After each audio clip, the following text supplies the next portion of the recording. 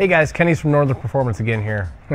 um, so we got the uh, 408 in the red truck on the dyno today. Uh, we started off at like 469 wheel with just a street tune and super conservative on timing, like around 20 degrees. Um, the thing is taking a lot more timing than I thought it would. So we're up at like 31 and a half, 32 degrees at the top of like 7,500 RPM. Um, so far we've bested 548 to the tire um, that was through the converter locked uh, third gear. And that was also with the long intake runner, uh, plenum bell mouths from Fast for the Fast LSX HR intake manifold. So now we have a set of the medium ones. So we're gonna try the medium velocity stacks and uh, see if we can squeeze out a couple few more horsepower because it's, it's, carrying power really well to about 6,800. Um, the engine doesn't want to slow down, but I think the in intake's kind of just sitting there and kind of plateauing at that point.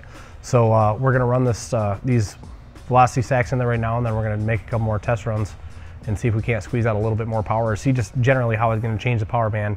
Um, I ordered a set of the short ones. Uh, they weren't in stock, so not sure when the next time I'll be able to test those, but sometime soon we'll test those out too. So uh, yeah, anyways, stay tuned.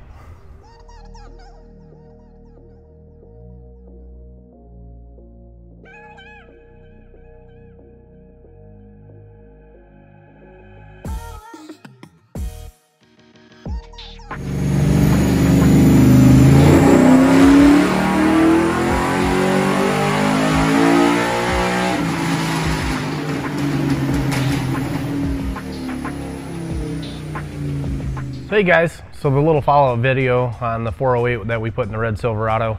Um, we ended up getting the short runners in the mail. Uh, Dick was on vacation for a week and a half or so. He went down and cruised the South Coast and the Midwest and stuff, so that was cool. Uh, but anyways, we are a little bit tied up at the shop. I don't know, most of you guys know that we, we bought a new shop that's like four times the size of our old one, so we've been really just overwhelmed with the amount of time and effort that we have putting into this. But anyways, to cut to the chase. So on the 408, we ended up throwing a velocity stack on it, got rid of the K&N air filter, uh, and we picked up our little eight wheel horsepower, which it clipped us over the 550 range, which was what I was hoping for. Um, so it made 555 to the wheels uh, with the velocity stack.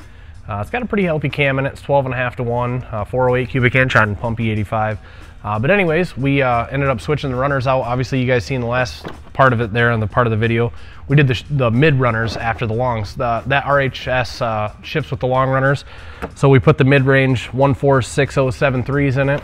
Um, these are said to make it like eight and a quarter inch runner length. Um, so this, this did what I was thinking. It was very close to what the long runners were. Uh, lost a little bit of torque down low, but really carried power about 200 higher. Um, so these were pretty pretty decent uh, gains everywhere and not a lot of loss. The short runners did exactly what we expected and lost a whole bunch of torque, around 30, 35. Uh, these are the 146074 part numbers. This makes the runner length about seven and a quarter inches, uh, is what they claim on fast. So anyways, uh, we'll show you the dyno graphs here in a second, but uh, just as expected, the long runners made peak power at like 6,200 RPM. Uh, the mid runners made peak power at 6,400 RPM, and then the short runners made peak power around 6,700 RPM. Um, ironic enough, all of them made 555 to the tire, uh, within a decimal place out of the best runs, some 553s and 552s, but for the most part, they all made the same power. Uh, they just, the, the runner length dictated where it made that power. Um, obviously with the, with the torque loss with the shorter ones. Um, but anyways, we'll cut to the chase. Uh, we'll post a couple more videos real quick, and then we'll post a couple more, or you know, videos of the truck and the dyno, and we'll post a couple of the dyno graphs for you guys to check out. Uh, but anyways, we've got a lot of new stuff going on, a lot of stuff going on with the shop. So we'll try to make some newer videos here in the future. We'll try to stay on our game, uh, try to get some stuff pumped out for this winter. But anyways, yeah, stay tuned guys. Hope you have a good time.